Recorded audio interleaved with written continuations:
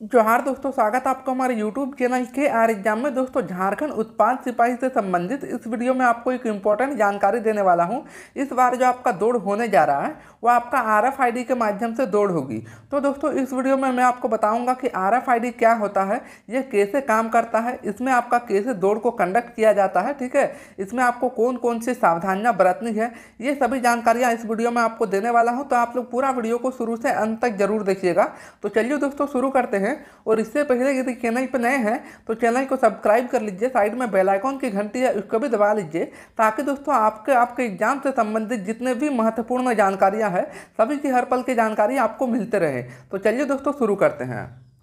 तो दोस्तों, सबसे पहले मैं आपको दिखाना चाहता हूँ कि आपको कहाँ पर बताया गया है कि आपका जो दौड़ होगा, वो आर एफ़ के माध्यम से होगा। तो देखिए, ये नोटिस कुछ दिन पहले पुलिस मुख्यालय के द्वारा जारी किया गया था, जिसमें आपका साफ़ साफ़ बता दिया गया सी नंबर में कि आर एफ़ टेक्नोलॉजी का यूज़ करके अभियत्रियों का वास्तविक दौड़ कराना। मतलब ये तो आपका कन्फर्म है कि इस बार जो आपका दौड़ होगा, वो आर एफ़ के माध्यम से होगी, ठीक है? तो चलिए आप समझते हैं कि आपका आर एफ़ क्या होता है और कैसे उसमें दौड़ को कंडक्ट किया जाता है। चलिए देखते हैं।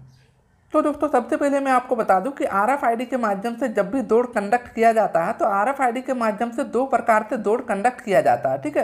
पहले प्रकार में होता है कि आपका जो सेंसर है, वो ज़मीन में लगाया जाता है, जैसे कि आप लोग वीडियो में देख पा रहे होंगे।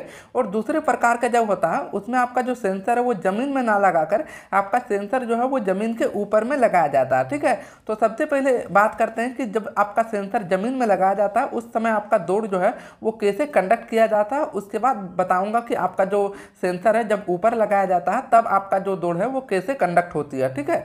तो जैसे कि आप लोग देख पा रहे होंगे, यहाँ पर जो सेंसर लगा दिया गया है, ये आपका जो चमड़ा का आप लोग देख पा रहे होंगे, ये आपका सेंसर है, ठीक है? इसमें आपका सेंसर को लगा दिया गया है, और जैसे ही आप लोग दौड़ना शुरू करेंगे तो उस समय ये सेंसर के द्वारा ऑटोमेटिकली नोट कर लिया जाएगा कि आप लोग कितने मिनट कितने मिनट यहाँ पर आपका तीन भागों में आपका समय को देखा जाता है, आपका मिनट सेकेंड, उसके बाद मिली सेकेंड। ये आपका इसीलिए लिया जाता है क्योंकि दोस्तों, जब भी स्टूडेंट की संख्या बहुत ज़्यादा हो जाती है तो उस समय आपका ये तीनों भागों में आपका समय को देखा जाता है। मतलब आपका मिनट में भी देखा जाएगा, सेकेंड में भी देखा जाएगा और मिली सेकेंड में भी देखा जाएगा, ताकि यदि आप लोग एक मिली सेकेंड भी यदि अधिक समय लिए हैं तो फिर आपको निकाल दिया जाएगा, ठीक है?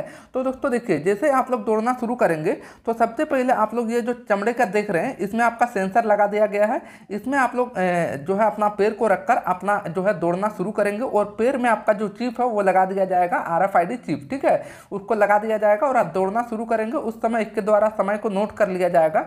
उसके बाद जब आप लोग दौड़ना समाप्त करेंगे, ठीक है तो उस समय भी इसके द्वारा जो है ऑटोमेटिकली नोट कर लिया जाएगा कि आप लोग कितने बजे जो है, कितने मिनट में आप लोग शुरू किए थे और कितना मिनट में आप लोग जो है यहाँ पर दौड़ को कंप्लीट किए। तो यहाँ पर आपको जो है सावधानी ये रखनी है कि बहुत सारे स्टूडेंट जो है पूरा पूरी साठ मिनट में दौड़ रहे हैं, ठीक है? तो पूरा पूरी साठ मिनट में दौड़ना आपको जो है नहीं है, आपको थोड़ा सा कम समय लेना है, जैसे कि संतावन मिनट, अंठावन मिनट, में आपको दौड़ को कंप्लीट करना है। क्योंकि दोस्तों, यहाँ पर आपका तीन भागों में समय लिया जाता है। मान लीजिए, आप लोगों ने दौड़ा, यहाँ पर उनसठ सेकेंड उनसठ मिनट लिया है, ठीक है? उनसठ मिनट, उसके बाद यहाँ पर साठ सेकेंड ले लिया है, यहाँ पर आपका कंप्लीट हो गया। और आपने सेकेंड, जो मिली सेकेंड होता है, उसमें आपने zero point one millisecond ले लिया, फिर भी आपको यहाँ पर निकाल दिया जाएगा, क्योंकि स्टूडेंट की संख्या बहुत ज़्यादा है, ठीक है? इसीलिए दोस्तों आपको जो दौड़ की तैयारी करनी है, वो दौड़ आपको जो है, जब भी आप लोग ग्राउंड में दौड़ रहे हैं या फिर आप लोग रोड में दौड़ रहे हैं तो जहाँ भी दौड़ रहे हैं, लेकिन आपको जो दौड़ना है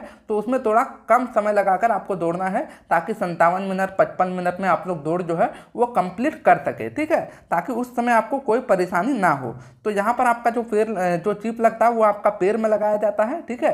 पैर में लगा दिया जाता है, चिप को बाँध दिया जाता है, और उसके माध्यम से आपको कोई भी परेशानी नहीं होती है। आप लोग जैसे दौड़ना शुरू करेंगे यहाँ पर आपका जो है ऑटोमेटिकली नोट कर लिया जाएगा मशीन के द्वारा, जो आप लोग देख पा रहे हैं। आर एफ़ मशीन जो है, यहाँ पर लगा दिया गया है, आप लोग देख पा रहे हैं, जो पीला कलर का आप लोग देख पा रहे हैं, ये, ठीक है? इसमें आपका ऑटोमेटिकली सब कुछ नोट कर लिया जाएगा मतलब इसमें किसी भी प्रकार से कोई भी धांधली नहीं होती है, ठीक है दोस्तों? इसमें कोई भी प्रकार से कोई धांधली नहीं होती है। अब बात करते हैं कि आपका जब भी सेंसर को ऊपर लगाया जाता, तब दौड़ आपका कैसे होता, उसको समझते हैं। तो दोस्तों, आप बात करते हैं कि दूसरे प्रकार से जो आर एफ़ आई डी के माध्यम से जो आपका दौड़ को कंडक्ट किया जाता है वो कैसे होता? है ठीक है तो देखिए, इसमें आपका जो सेंसर लगता है, वो ऊपर लगाया जाता है, जैसे कि आप लोग देख पा रहे होंगे, ठीक है? यहाँ पर आपका सेंसर लगा दिया गया है, उसके बाद जैसे आप लोग दौड़ना शुरू करेंगे तो इसमें जो आपका चिप लगता है, वो पीठ के पीछे लगा दिया जाता है, वो आपके हिसाब से लगा देंगे, जिसमें आपको कोई भी असुविधा ना हो, ठीक है? उसके हिसाब से वहाँ पर आपको चिप लगा दिया जाएगा, और इसमें भी जैसे ही आप लोग यहाँ से पार करेंगे, यहाँ पर बॉर्डर से जैसे आप लोग पार करेंगे तो यहाँ पर ऑटोमेटिकली ये सेंसर के द्वारा नोट कर लेगा कि कितने मिनट जैसे कि आप लोग यहाँ पर देख पा रहे होंगे, कितने मिनट कितने सेकंड और कितने मिली सेकेंड में आपने दौड़ना शुरू किया और कब तक आपने समाप्त किया, ठीक है? तो ये आपका यहाँ पे आपका जो है नोट कर लिया जाएगा और जैसे आप लोग दौड़ना शुरू करेंगे, उस समय नोट किया जाएगा और अंत में जब आपने समाप्त करेंगे, उस समय दौड़ने के बाद आपका देखा जाएगा कि कितने मिनट कितने सेकेंड और कितने मिली सेकेंड में आपने दौड़ जो है वो कंप्लीट किया है। वहाँ पर यदि आपने एक मिली सेकेंड भी यदि आप लोग ज़्यादा लिए हैं तो वहाँ पर आपको रिजेक्ट कर देगा, क्योंकि दोस्तों स्टूडेंट की संख्या बहुत ज़्यादा है, इसीलिए इस बार इस नियम को लागू किया गया है, ठीक है? तो दोस्तों उम्मीद करता हूँ कि आपको सभी जानकारी मिल गई होगी। यदि आपको जानकारी अच्छी लगी तो वीडियो को लाइक कर दीजिए, अपने दोस्तों को ज़्यादा से ज़्यादा शेयर करिए और चैनल को सब्सक्राइब करके चैनल से जुड़े रहिएगा, ताकि दोस्तों आने वाले प्रत्येक जानकारियाँ आपको मिलते रहे।